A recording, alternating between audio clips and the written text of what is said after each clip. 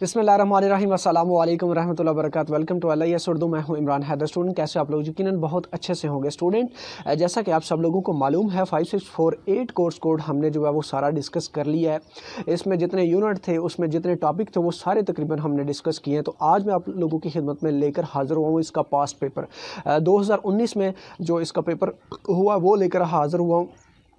तो तकरीबन वो सारी चीज़ें आपने की हुई हैं जो इसी पास्ट पेपर का हिस्सा भी हैं और इससे आपको पास पेपर से एक आइडिया हो जाता है कि आखिर पहले पेपर में आया क्या था और कौन कौन सा यूनिट में किस किस तरह से कौन सा टॉपिक जो है वो पेपर का हिस्सा बना था।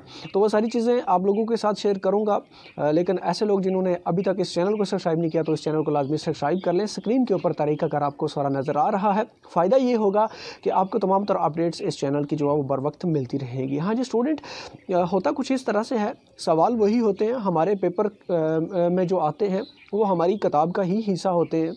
लेकिन कुछ सवाल की जो फॉर्म है, वो चेंज कर दी जाती है। तो उससे हम जो है, वो कंफ्यूज हो जाते हैं। तो इस पास पेपर को जो है, वो आप तक पहुँचाने का और इसको मैं जो जितने भी सवाल हैं, उनको भी डिफ़ाइन करूँगा कि आखिर ये आपके ही टॉपिक हैं, जो उन्होंने जो है, वो आपके क्वेश्चन का हिस्सा बनाए थे। तो इसी तरह से आपको ये नेक्स्ट भी इसी तरह से ही सवाल आएँगे। तो इसलिए उस वजह से आपने परेशान नहीं होना, बल्कि सबसे पहले आपने सवाल को अच्छे तरीके से रीड करना है। रीड करना है, समझना है कि आखिर आपसे पूछा क्या जा रहा है। फिर आप अच्छे तरीके से जो है उसको डिफ़ाइन कर पाएँगे। तो चलें, चलते हैं अपने पास्ट पेपर की जाने। बिसमीम five six four eight course code है M L I S third semester और 2019 का ये पेपर है। ये अभी जो पेपर गुज़रे हैं, ये ये लास्ट ईयर स्प्रिंग सेमेस्टर का ही ये पेपर है। और इसमें जो है वो सवाल किस तरह से आए कौन कौन से आए हैं, कैसे आए हैं किस किस यूनिट में से सवाल हिस्सा बनते हैं और हर दफ़ा इसका हिस्सा लाजमी होते हैं। ये तमाम चीज़ें मैं आप लोगों को बता देता हूँ, लेकिन एक बात यहाँ पे मैं आप लोगों को बता दूँ कि five six four nine course code उसमें जितने टॉपिक करवाए थे अल्हम्दुलिल्लाह पेपर का वही हिस्सा रहे हैं तो इसमें भी आ, मैंने यूनिट नंबर टेन से लेकर एटीन तक जो टॉपिक अहम अहम टॉपिक हैं वो सारे करवा दिए हुए हैं। आप वो तीन वीडियोस को देख लें तो आपके सारे टॉपिक तकरीबन जो है वो क्लियर हो जाएँगे इन और बहुत ही थोड़े से टाइम में आपकी वो सारी चीज़ें कवर हो जाएँगी। तो सवाल नंबर पहला है यहाँ पे जी एक चीज़ यहाँ पे कि जो पहला आपका पेपर था, उसमें भी यही था कि तकरीबन हर एक यूनिट में जो अहम टॉपिक थे, वो सवाल का हिस्सा थे और वही अहम टॉपिक मैंने उठा के जो है वो वीडियोस की सूरत में डिफ़ाइन कर दिए हुए हैं। तो बिल्कुल थोड़े से टाइम में आपका वो सारी चीज़ें हो जाएँगी। तो आपने हर एक यूनिट को, आप खुद से भी अगर ये मेरी वीडियोस नहीं देखना चाहते, आप इस, आपको ये पसंद नहीं है कोई इशू नहीं है। लेकिन अपने फ़ायदे के लिए इतना ज़रूर कीजिएगा कि अपनी स्टडी गाइड उठा के जो टॉपिक वहाँ पर हैं, उनको लाजमी तैयार कीजिएगा। उन टॉपिक को लाजमी तैयार कीजिएगा, क्योंकि स्टडी गाइड ही आपकी एज ए टेक्स्ट बुक के तौर पर हैं तो पेपर हमेशा टेक्स्ट बुक में ही आता है। तो उससे स्टडी गाइड से आपको बहुत सी गाइड्स मिल जाएँगी। जो टॉपिक वहाँ पे हैं, उनको रेडी करेंगे तो आपका बहुत ज़्यादा फ़ायदा हो जाएगा। तो सबसे पहला सवाल है what is different between bibliographic source and bibliographic tools कि बिब्लोग्राफिक सोर्स और टूल्स में फ़र्क क्या है? ये बताना है हमने। Describe computerise bibliographic tool and what types of information they provide अब बिब्लोग्राफिक टूल और बिब्लोग्राफी कंप्यूटराइज टूल टूल्स और कंप्यूटराइज टूल में थोड़ा सा ही फ़र्क है। एक दो टूल का सिर्फ़ फ़र्क है। तो ये चीज़ें थोड़ी सी बंदे को परेशान कर देती हैं जब सवाल इस तरह से आता है कि डिफरेंस बिब्लोग्राफिक सोर्स और बिब्लोग्राफिक टूल में फ़र्क बताना है। तो अब टूल्स और सोर्स में फ़र्क बताने में हम टूल और सोर्स मिक्सअप कर देंगे तो उसमें थोड़ी सी प्रॉब्लम हो जाती है। जब टूल्स हमारे कोर्स जो है वो हम पढ़ भी चुके हैं लेकिन सोर्स हम नहीं सोर्स देखेंगे, यार सोर्स कौन से हैं टूल्स कौन से हैं तो इसमें हमें जो है वो थोड़ी सी परेशानी का सामना हो जाता है और हम इसको मिक्सअप कर देते हैं। लिहाजा ये चीज़ें इस तरह से, इस तरह से सवाल आता है तो इसलिए स्टूडेंट जो है वो उसको परेशानी का सामना करना पड़ता है और वो गलत कर देता है। तो इसलिए सवाल को अच्छे तरीके से समझ के मतलब सोर्सेज और टूल्स और उसके बाद कंप्यूटराइज टूल्स आसान सा सवाल है, कोई मुश्किल नहीं है। उसके बाद है जी सवाल number two describe the contribution of IFLA in development of I S B D also discuss I S B D C M cartographic material ठीक है जी? बिब्लोग्राफिक फॉर्मेट्स में ये, इस यूनिट में से ये टॉपिक है। तो इसमें इफ्ला ने ISB international standard bibliographic descriptions develop की। इसमें इफ़ला का इफ़ला का कौन सा, क्या करदार था? ये हमने जो उनका कितना हिस्सा है इसमें? इंटरनेशनल फेडरेशन लाइब्रेरी एसोसिएशन का इसमें कितना हिस्सा है? और ये जो कार्टोग्राफिक मटेरियल है, ये आपका जो स्पेशल मटेरियल्स की जब आप करते हैं बिब्लोग्राफी तो उसमें आता है। तो ये भी कोई मुश्किल चीज़ नहीं है, लेकिन ये भी देख लें कि ये आपका सेवनटीन चैप्टर है बिब्लोग्राफिक फॉर्मेट उसमें से ये सवाल आया हुआ है। तो वो ये दोनों सवाल आप सेवनटीन और एटीन के यूनिट से तो आ गए आपके। अब व्हाट आर बिब्लोग्राफिक डेटाबेस अब डेटाबेस चैप्टर से सवाल आ गया है इसका हिस्सा बन गया है ये क्वेश्चन पेपर का। तो व्हाट आर बिब्लोग्राफिक डेटाबेस इसमें सबसे पहले डेटाबेस उसके बाद बिब्लोग्राफिक फिर बिब्लोग्राफिक डेटाबेस इस तरह से आप इसकी तफसील करेंगे तो आप आसानी से कर सकेंगे। ये पहला पार्ट उसके बाद discuss technology use in database अब टेक्नोलॉजी यूज़ किस तरह से हो रही है डाटाबेस में, ये आपने डिफ़ाइन करना है। सारी चीज़ें अलग अलग कर देंगे, बड़े अच्छे तरीके से इसका भी जवाब बन जाएगा, कोई इशू नहीं है। Trace out origin of mark and describe feature of mark 21 mark क्या है और मार्क 21 के फीचर क्या हैं, उनके बारे में आपने इसमें डिफाइन करना है।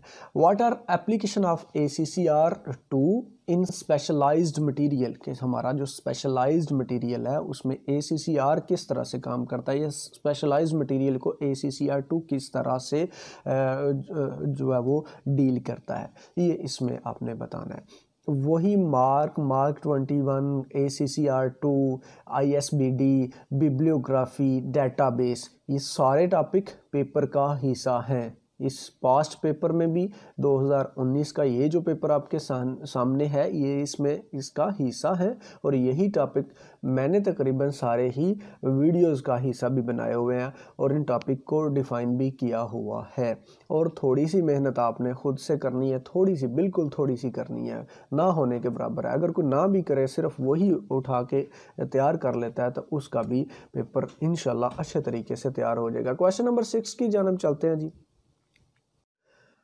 Uh, brief trace out history of cataloging codes and discuss which one code played important role in development of modern codes.